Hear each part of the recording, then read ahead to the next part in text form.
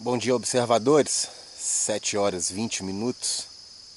Cheguei aqui nesse ponto de observação aqui nas, prim nas primeiras horas do dia, com o sol agora começando a surgir acima das montanhas.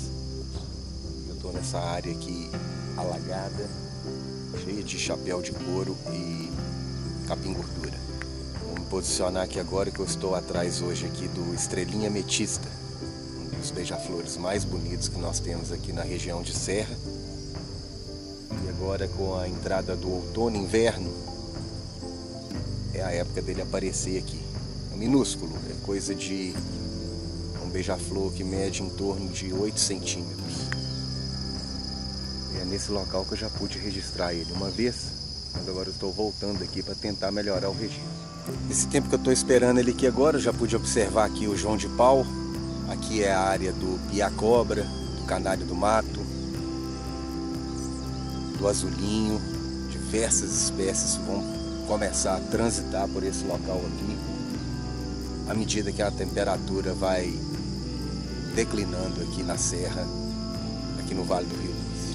Aqui também consegui fazer o registro da fêmea da, do, da patativa chorão, diversas espécies das áreas alagadas, como o enferrujadinho,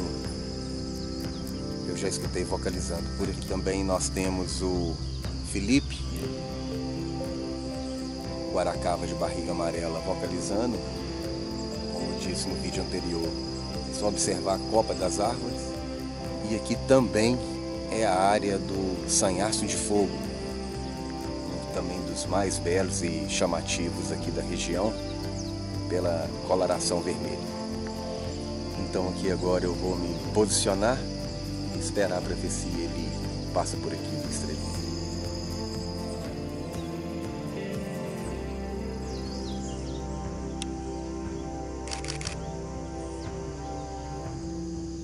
Uns 40 minutos já posicionado e nada dele. Vejo os mosquitinhos, vejo tudo, mas por enquanto ele não apareceu aqui. Não sei se ele ainda não está nessa região ou se ele está para outra parte. É isso aí, observadores.